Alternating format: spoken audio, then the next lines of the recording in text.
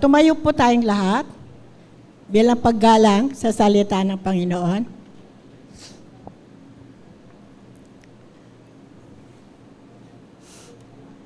Ang ating pong talata ay matatagpuan natin sa Pilipos, Kapitulo 4. Babasahin ko po talatang 6 at 7. Ito po ay kinuha ko sa Magandang Balita, Biblia. So, kung nandyan na po, sabi po dito, huwag kayong mabalisa tungkol sa anumang bagay. Sa halip ay hingin ninyo sa Diyos ang lahat ng inyong kailangan sa pamamagitan ng panalangin may pasasalamat.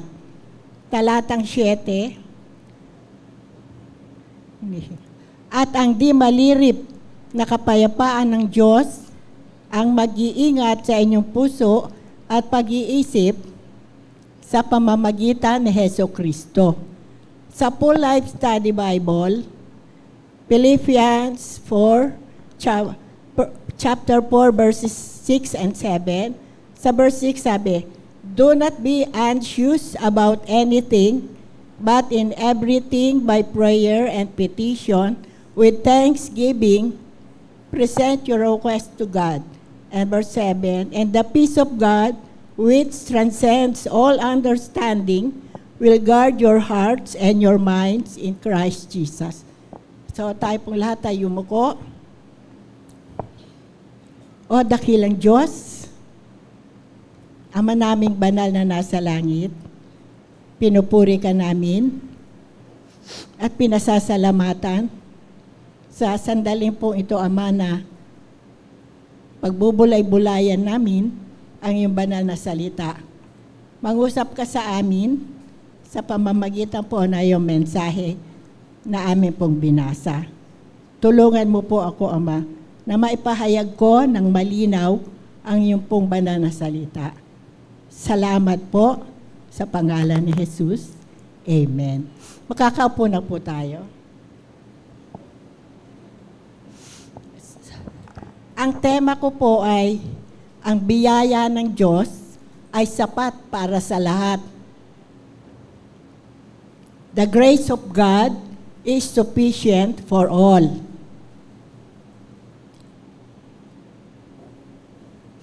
So, ang word meaning po ng anxious, deeply concerned. And yung transcend, to surpass or to excel.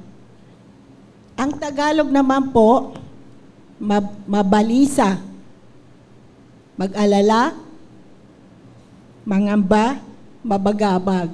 Nag-aalala ba kayo?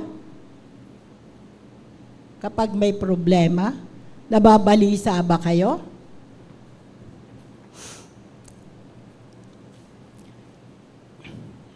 Ano po ang pinakamahalagang magagawa natin? Kapag tayo ay dumaraan sa mga kabalisahan. Ang magagawa natin, pinakamahalaga na magagawa natin o na isang tao, kristyano man siya o hindi, kung may pinagdaraanan siyang mabigat na kabalisahan, o pagsubok man ay ang lumuhod sa harap ng Diyos. Yung iba po kasi, pag may kabalisahan, naghahanap na, sino kaya ang pwede kong lapitan, tul- ng tulong. Di ba dapat Diyos muna? Sa Diyos muna tayo lumapit sa Diyos tayo humingi. Ng anumang tulong. So, madalas nating marinig kay Sister Cheat. Although, minsan natatawa, nagpapatawa, di ba, no? Kung may problema daw po tayong mabigat, anong gagawin natin? Lumuhod lumuhod tayo sa Diyos. Yung tuhod natin, ibaluktot natin. Kasi kung minsan, nakaupo, nakahiga, nananalangin, Subalit, hindi maibaluktot ang tuhod paglapit sa Panginoon. So, ano dapat nating gawin? Lumuhod, manalangin, iiyak mo sa Panginoon ang lahat ng iyong problema. Kasi napakahalaga sa paningin ng Diyos yung ating mga luha. Kapag umiiyak na po tayo, umiiyak din po ang Diyos. Naaawa, nahahabag sa bawat isa sa atin. Amen po ba? Amen. Pati ako naiiyak. Di po, talagang ganon ang mana ng palataya. Kailangan po talaga malapit na malapit tayo sa ating Panginoon. Meron po akong isinulat dito na sampu. Sampung paraan ng pananalangin. Kung meron po tayong pinagdaraan ng mabigat na kabalisahan, anxiety, problem, troubles, sampu ang akin pong inilista dito. Ten important ways to overcome anxieties and problems. Sampung mahahalagang paraan ng pananalangin.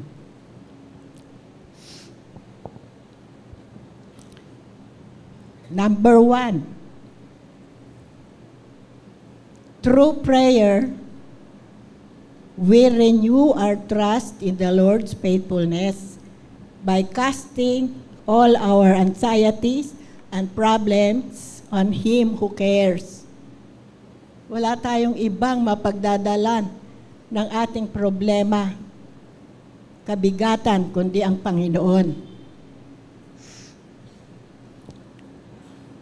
Sa pamamagitan ng panalangin, sinasariwa natin ang ating pagtitiwala sa katapatan ng Diyos kapag dinadala natin sa Kanya ang ating mga problema at kabalisahan. Yun po. Wala po tayong pagdadala ng ibang problema. Huwag niyo sasabihin sa mga kapitbahay, Uy, ito ang problema ko lala, mas lalo pa yung kakalat. Oh, may problema pala si Aling Maming. Ganun. Hindi po. Sa amin po, wala pong nakakaalam kung ako po ay may problema o wala. Dahil ako lang po mag-isa sa bahay. mag-isa lang ako sa bahay. So, ang tendency ko, kapag may problema, may bigat na dinadala ang aking puso, aking dibdib, Diyos lang. Ang Diyos lang po ang aking tinatawagan.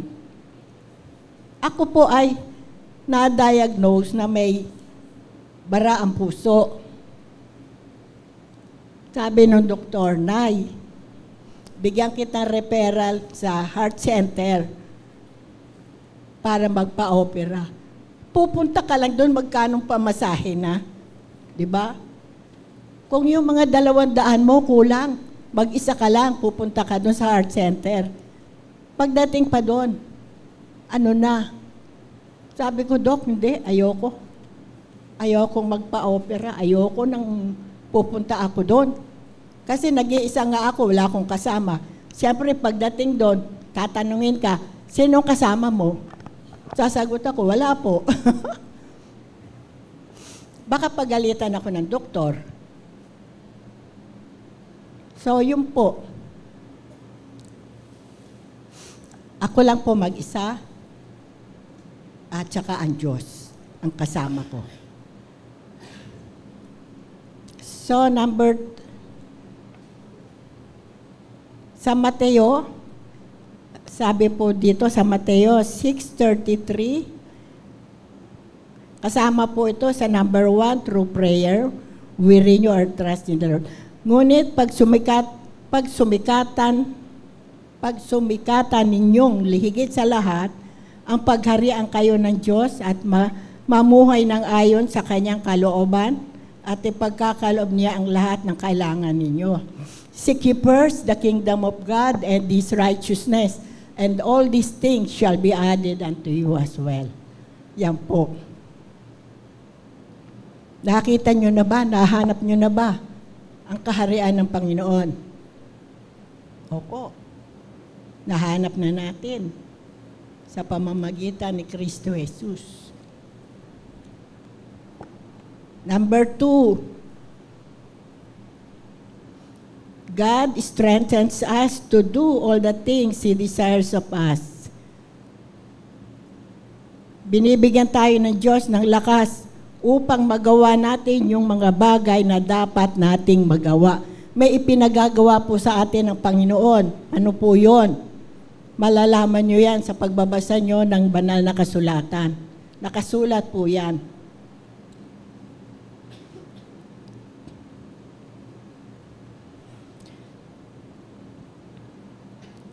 Binibigyan tayo ng Diyos ng lakas upang magawa natin yung mga bagay na dapat nating magawa. May kalooban ng Diyos kung ano po yung dapat nating gawin. Mababasa natin yan sa Biblia. Sa Epeso, Kapitulo 3, talatang 16 at 17. I pray that out of His glorious riches, He may strengthen you with power through His Spirit in your inner being. 17, so that Christ may dwell in your heart through faith. May dwell in your heart through faith.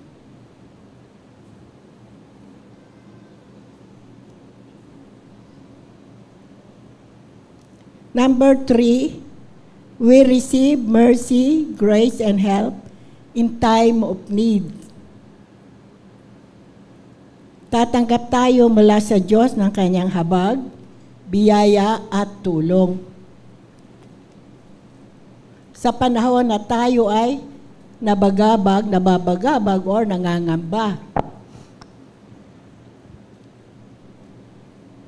Sa Hebrews 4.16, sabi doon, Let us then approach the throne of grace with confidence so that we may receive mercy and find grace to help us in our time of need. So, yon. Ang tulong na kailangan natin ay nagmumula sa Panginoon. Sa Romans 8.28, And we know that in all things, ah, di. Ah, mali, nasa ano pa pala. Number four, we are assured that in all things God works for our good. Meron tayong katiyakan na sa lahat ng bagay, ang Diyos ay gumagawa para sa ating ikabubuti. Yon. May gagawing mabuti ang Panginoon para sa bawat isa sa atin. Ayan ang Romans 8.28 And we know that in all things, God works for the good of those who love Him, who had been called according to His purpose.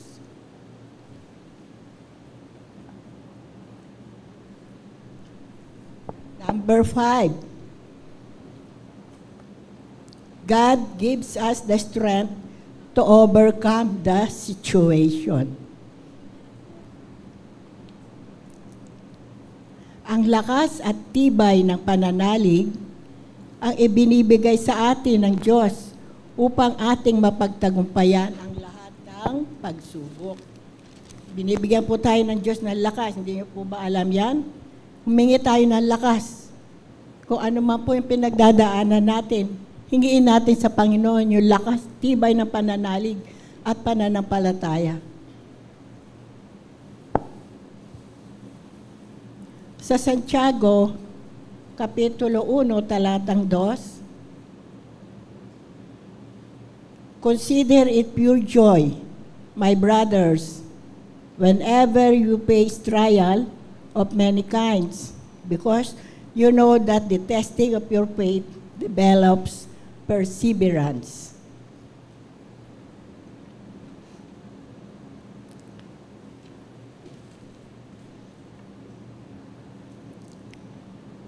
Number six. Keep your lives free from the love of money and be content with what you have. Bakit daw po? Because the love of money is the root of all evil. Yung pag-ibig sa salapi, ang ugat ng lahat ng kasamaan. Hindi po masama ang money. Kailangan po natin ang money. Pero yung pag-ibig, yun po ang nagbibigay sa atin ng kapahamakan. Pag-ibig sa salapi, ang ugat ng lahat ng kasamaan. Huwag nating ibigin ang salapi. Masyahan na tayo sa anumang nasa atin. Kung meron kang kinakain, masyahan ka na. Meron kang dinaramit, masyahan ka. Huwag kang maghangad ng mas higit pa. Di ba? Mas naghahangad ka ng gusto ko maraming ganito, maraming ganyan. Napapahamak ka lang. Lalo na kung wala kang pera, ano, hahanap ka ng paraan para mabili yung gusto mo. Sa Hebrews 13, 5 and 6, Keep your lives free from the love of money, because God has said, Never will I leave you, never will I forsake you. Sa lahat po ng sitwasyon ng ating buhay, ang pangako ng Diyos mapangahawakan. Hindi niya tayo iiwan, hindi niya tayo pababayaan. So we say, verse 6, so we say with confidence, The Lord is my helper. What can man do to me? Anong magagawa sa akin ng tao? Wala. Diba?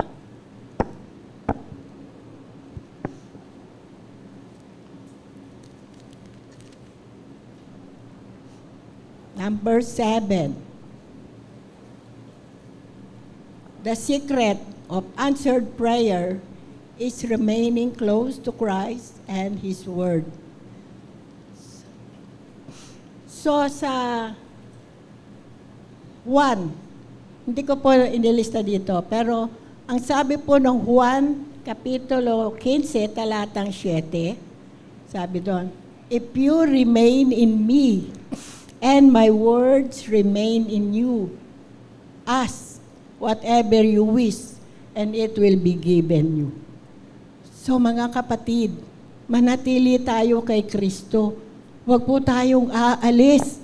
Yung salita niya, panatilihin natin sa ating mga puso. Yun lang po ang tanging paraan para po tayo ay maging matagumpay, mananagumpay. Wala po yan dyan.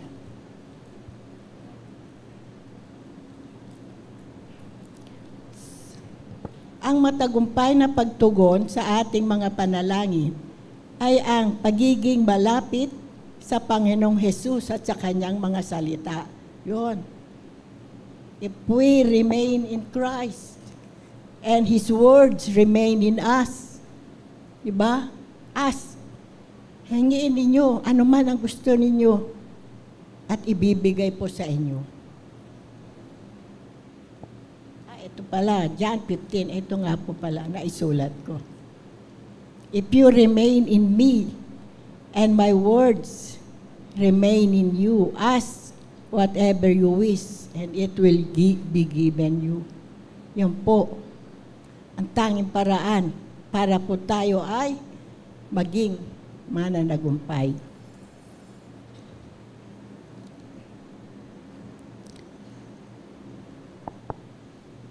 Number eight, seek the presence of God in your life and call on Him for help.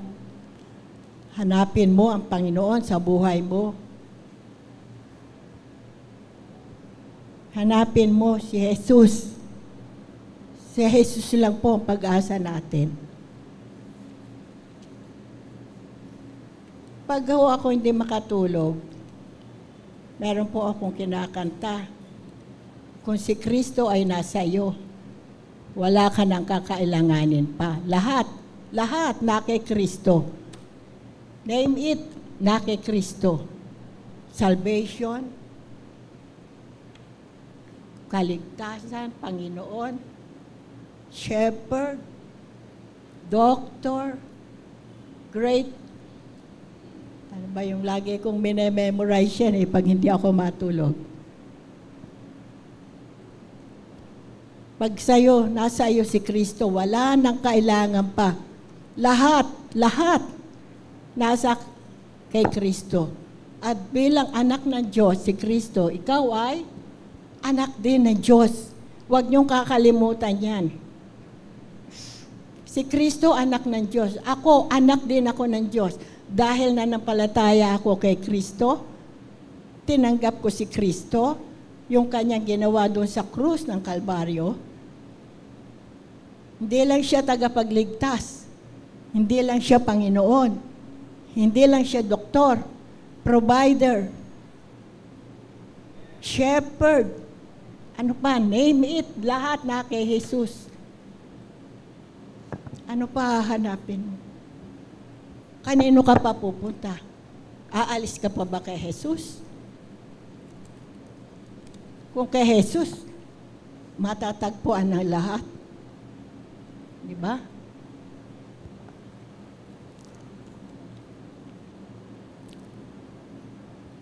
Number ah, sa Jeremiah, seek the presence of God, number 8 yun, ano? Jeremiah 29, 12 and 13. Sabi dito, Then you will call upon, then you will call upon me and come and pray to me and I will listen. You will ask me and find me when you seek me with all your heart, and I will be found by you, declares the Lord kung hahanapin nating masikap ang Diyos. Andyan lang po siya. Nasa tabi natin. Isang panalangin lang po ang layo niya sa atin. Yung iba kung saan-saan pa naghahanap ng kasagutan sa mga panalangin. Samantalang ang Diyos nandyan lang. Isang panalangin lang ang layo sa atin bakit ka pa maghahanap ng kung sino-sino tatawagan mo? Madali siyang matagpuan. Hanapin mo siya, nandyan lang siya. Tawagin mo siya, nandyan lang siya. When you seek me with all your heart, and I will be found by you. Di ba? Declares the Lord. Number nine, when experiencing troubles, problem, or poverty, scriptures invite you to seek strength from God through prayer and draw near to Jesus, your mediator to God. Sino ho ating mediator, tagapamagitan sa, sa Diyos at sa tao? taong si Yesu Kristo. Siya lang po, wala nang iba.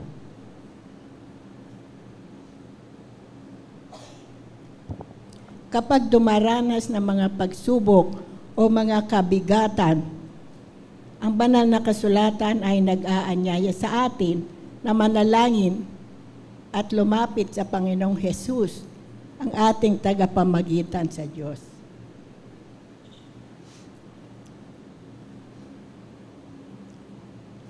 Sa 1 Peter, chap, 1 Peter 5, verses 6 and 7, Humble yourself, therefore, under God's mighty hand, that He may lift you up in due time. Cast all your anxiety on Him, because He cares for us. Lahat ng anxiety, lahat ng problema, lahat ng hirap, lahat ng kabalisahan, dalhin natin sa Panginoon. Because He cares. Nagmamahal siya. Kinakalinga niya tayo. Hindi niya tayo iniiwan. Hindi niya tayo pinababayaan. And number 10, the the key to contentment is realizing that God has given you everything you need to remain victorious in Christ. So lahat na daw po ay matatamo natin sa Diyos. Lahat. Para maging mananagumpay tayo sa ating Panginoong Heso Kristo. Ang tagumpay ay ating matatamo sa pamamagitan ng pananatili sa ating Panginoong Heso Kristo. So kung mananatili tayo kay Kristo, katagumpayan po ang ating madarama. Amen? Sa John chapter 5 verse 4, For everyone born of God overcomes the world.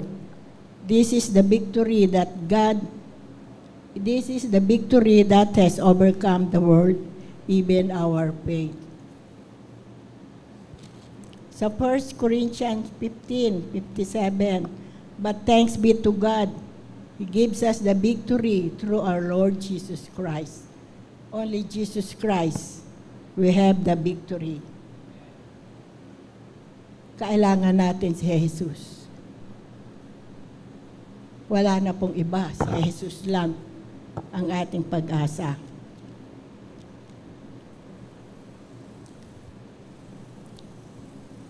Upang tayo ay mabuhay na matagumpay sa kabila ng mga pangyayari, dapat tayo ay nakadepende sa kapangyarihan ng ating Panginoong Yesus. Si Jesus ang ating pag-asa, ang ating sandigan, ang ating malaking bato, ang ating pundasyon, lahat na. So kapag hindi talaga ako matulog, lahat makatulog, lahat ng may kinalaman sa Panginoon, talagang inuulit-ulit ko sa aking isipan. Hanggang sa matulog ako. Pagising ko, misa alas 4 na, hindi na ako matulog. Ganon po talaga eh. Sa 1 Corinthians 15.58, sabi po dito, Stand firm, my brother. Let nothing move you. Always give yourselves fully to the work of the Lord, because you know that your labor in the Lord is not in vain. Hindi po sayang yung ating paglilingkod sa Panginoon. Nakatala po yan lahat ng ginawa nyo, malaki, maliit, lahat yan. Hindi nawawaglit sa paningin ng ating Panginoon. Our labor in Lord, in the Lord is not in vain. Hindi nasasayang. Lahat matagumpay.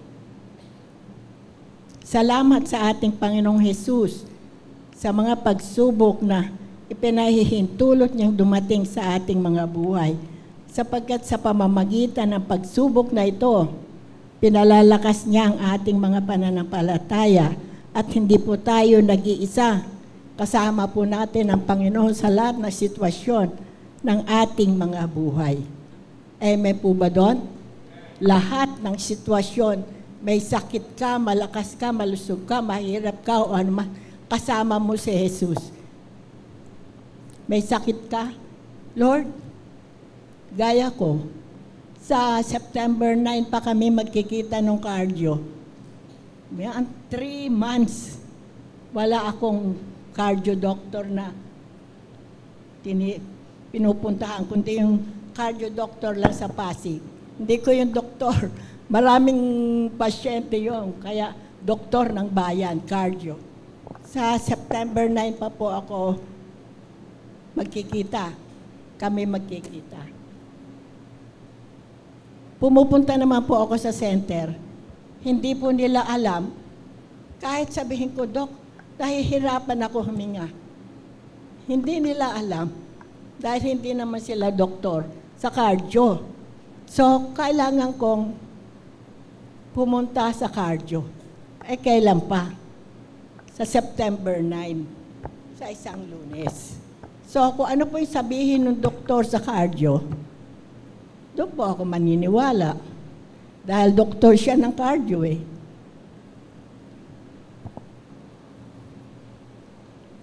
Tandaan natin, ang pangako niya na hindi niya tayo iiwan o pababayaan man, kasama natin lagi ang Panginoon. Sabi nga, isang panalangin lang ang layo niya sa atin. Di ba? God is just a prayer away. Yung iba kung saan saan pa nananalangin, andyan lang si Jesus, nasa tabi mo. Tumingala ka lang. Andyan na si Jesus. Sasagot na sa iyo. So, di ba dalawa yung talata natin? Talatang 6 at saka 7. Ang sabi dito sa 7, at ang di malirip, uh, Philippians 4, 6, 7, at ang di malirip na kapayapaan ng Diyos ang mag-iingat sa inyong puso at pag-iisip sa pamamagitan ni Kristo Jesus. So, paano yun? So, may iniwang kapayapaan sa atin ng Panginoon, di po ba? bago po siya umakyat sa langit, iniwan niya yung kanyang kapayapaan, sabi niya sa Juan 14:27. Kapayapaan ang iniiwan ko sa inyo. Ang aking kapayapaan ang ibinibigay ko sa inyo. Hindi ito katulad na ibinibigay ng sanlibutan. Ang ibinibigay ng sanlibutan, hindi po kapayapaan, kaguluhan. Pero ang Panginoon, ang ibinibigay sa atin kapayapaan na nagmumula sa Kanya. Sa Juan 16.33, Sinabi ko ito sa inyo upang kayo'y magkaroon ng kapayapaan sa, sa pakikipag-isa sa akin. So yung peace na hinahangad natin ay matatagpuan lang po natin sa ating Panginoong Heso Kristo. Wala na pong iba. Sa Juan, Kapitulo 15, talatang 10 at 11, Kung tinutupad ninyo ang aking mga utos, mananatili kayo sa aking pag-ibig tulad ko, tinutupad ko ang utos ng aking ama at ako'y nananatili sa kanyang pag-ibig. Sinabi ko sa inyo ang mga bagay na ito upang makabuti,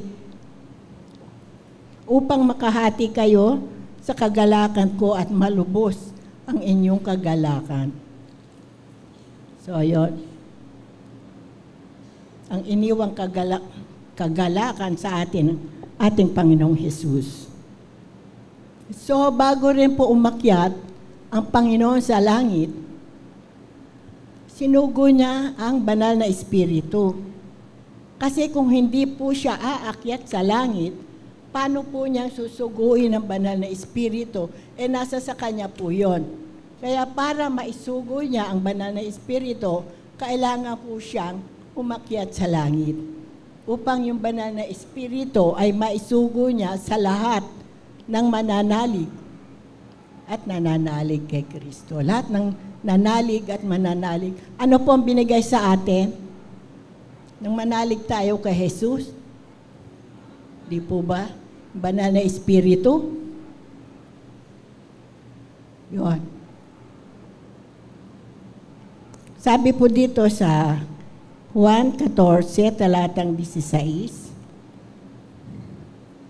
Dadalangin ako sa Ama at kayo'y bibigyan niya ng isa pang patnubay na magiging kasama ninyo magpakailanman. Ito ang Espiritu ng katotohanan. The Spirit of Truth. Yun ang susuguin ni Kristo sa atin sa kanyang pag-akyat sa langit.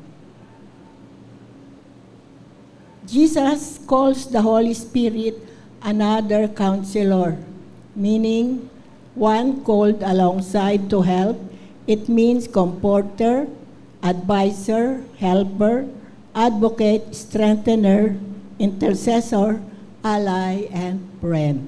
Yan po ang banal na espiritu. Hindi lang po siya Holy Spirit. Marami pong tawag sa Kanya. Marami siyang pangalan. Kumbaga ang Panginoon maraming pangalan. Siya rin po ay maraming pangalan. Comforter. Ano ba ang comforter?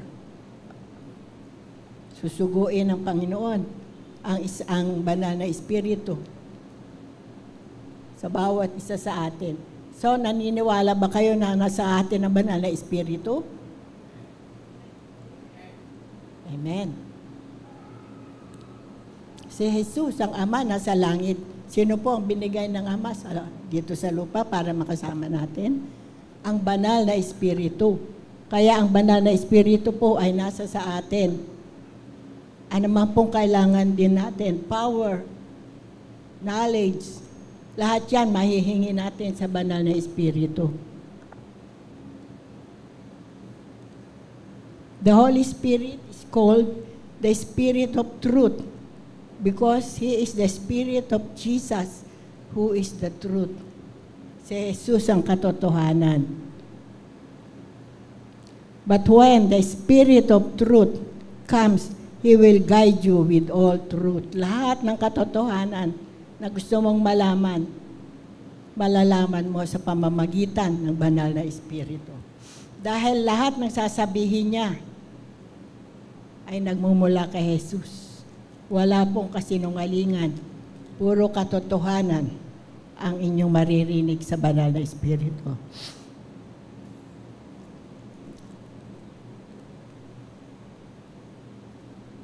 Sa, ito nga, John 14, 26.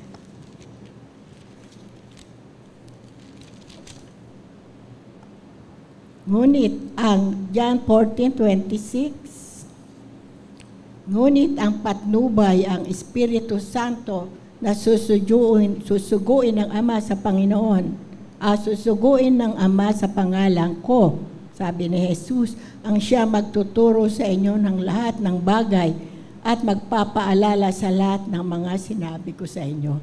Siya ang Spirit of Truth, siya ang magpapaalala sa atin kung ano yung mga sinabi ni Jesus, yun ang sasabihin niya.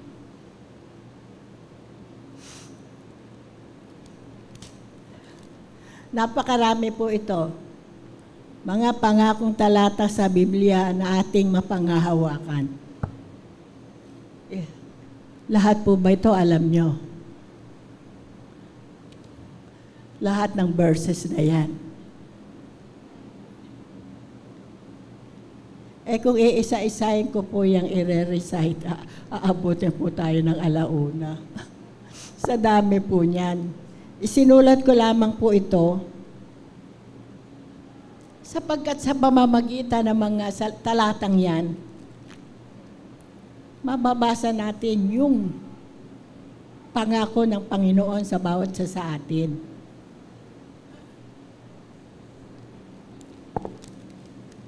John 15:7, John 1:12, Matthew 6:33, Acts 4:12, Philippus 4:13, Acts 16:31, Hebrews 13:5, 2 Corinthians 5:17, Hebrews 13:8, Romans 1:16, Santiago 4:10, 1:14:6, 1 Peter 1 Pwede ko po i-recite yan.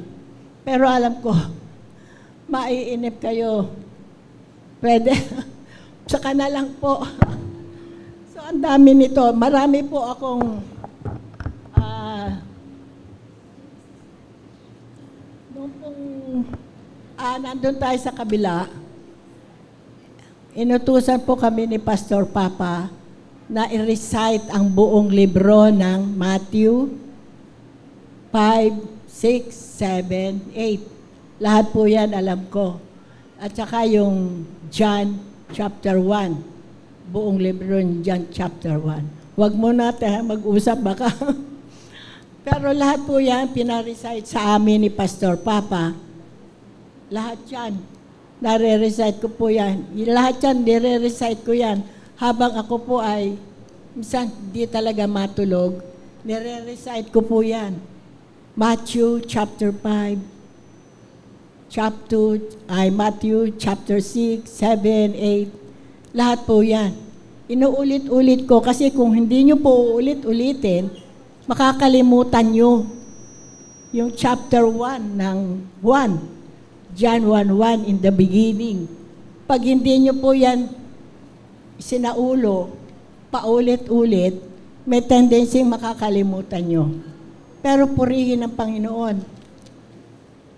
Hindi ko po yan nakakalimutan. Kasi po wala akong ginawa. Pag hindi po ako matulog, binabalik-balikan ko po yan. Pati po itong mga talatang ito, binabalik-balikan ko yan. Para nga po, hindi mawala. Meron po akong listahan ganyan. Mahaba po yon. Kaya gusto ko rin po kayo matuto. Mag-recite, mag-memorize ng mga words of God. Memorize nyo po yan. Madali lang naman yan eh. Hindi naman po mahirap mag-memorize ng salita ng Panginoon. So, panghuli, babalikan na lang po natin yung pong sampung uh, 10 prayers when anxiety, troubles, kabalisahan dumating sa inyong buhay. Number one, through prayers, we renew our trust in the Lord, forgiveness, faithfulness. Number two, God strengthens us to do all the things He desires of us. Number three, we receive mercy, grace, and help in time of need. And number four, we are assured that in all things God works for our good. Numbers 5, God gives us the strength to overcome the situation. Number 6, keep your lives free from the love of money and be content of what you have. The secret of answered prayer is remaining closer to Christ and His Word. Seek the presence of God in your life and call on Him for help.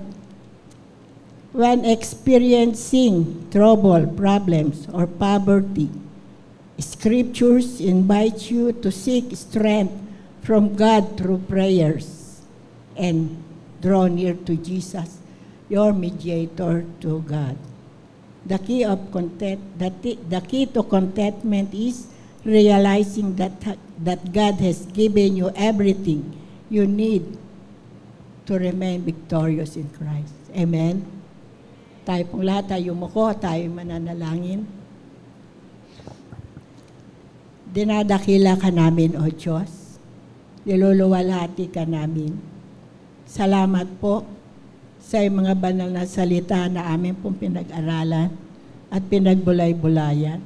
Ama, tulungan mo po na tanging sa iyo lamang umasa. Wala nang iba. Sapagkat, Panginoon, nasa iyo na lahat. Ano man po ang aming kailangan. Sa iyo namin matatagpuan ang lahat ng katugunan. Ama, palakasin mo kami patatagin sa aming pananalig at pananampalataya upang patuloy na ang banal mong salita ay maging gabay namin sa aming buhay sa bawat araw. Samahan mo kami. Tunay nga po, Ama, without you in our lives, we are nothing. Kaya salamat po.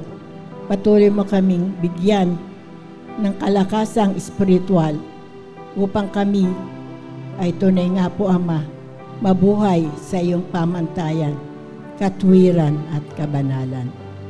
Salamat po, dakila ka at niluluwalhati ka namin.